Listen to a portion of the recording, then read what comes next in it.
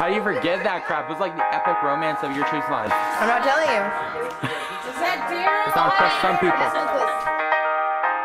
I'm just glad I never had to see those guys again.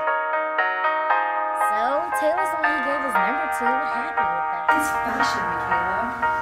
He's not good for you. He cheats on you. Michaela, either let it go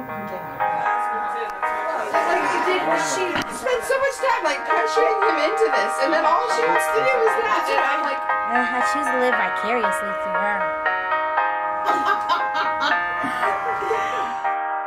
you almost kissed?